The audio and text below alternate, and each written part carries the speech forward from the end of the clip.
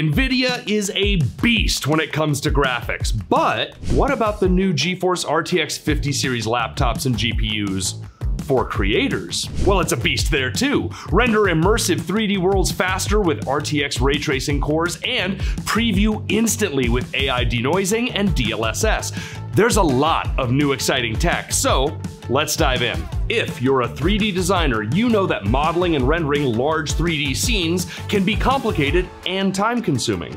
For real-time and complex animations, NVIDIA DLSS really focuses on freeing you from lag with huge speed boosts using ray tracing, AI denoising, frame boosting, and snappy previews. Many of your favorite creative apps are RTX accelerated, meaning NVIDIA GeForce RTX GPUs unlock accelerated tools and tech in top applications like Adobe Creative Cloud, Blender, and 3ds Max. Now, the NVIDIA GeForce RTX 50 series includes an arsenal of tools tailored to blow up your 3D game.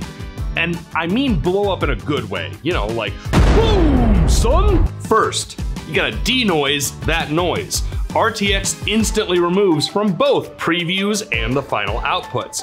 This means images crisper than a tortilla chip mm. with much shorter wait times. Mm. So crisp. Next, using RTX accelerated AI tools for materials and textures means faster and more efficient concepting, like auto-generating textures and lighting.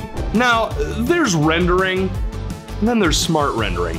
You want the smart one because AI scene optimization will dramatically reduce GPU power without tanking quality, and this is key especially for laptops. As for upscaling, NVIDIA AI scales up into the clouds when it comes to image and animation resolution for those high fidelity previews. All that is good, right? But let's get into the real performance of the new GeForce RTX 50 series GPUs. You've probably heard the 50 series is crazy fast, and the truth is, yes, it absolutely is. For numbers, people are seeing 4th gen ray tracing cores hitting 4 times the speed for render models, and that is wild. Also, editing and production can see up to a 2 times boost for viewport frame rates using NVIDIA's new DLSS 4. Let's quickly highlight some of the individual apps and the RTX and AI accelerated enhancements they're getting.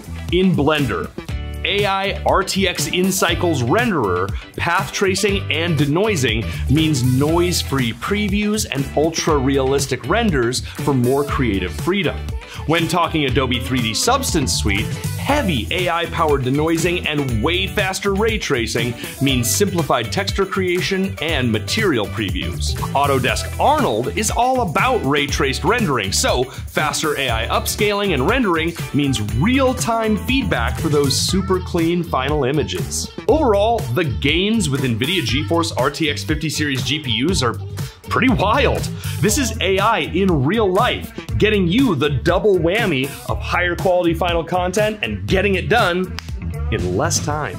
To learn more, or to snag your own laptop powered by an NVIDIA GeForce RTX 50 series GPU, like this Gigabyte Aero X16, click the link in the description.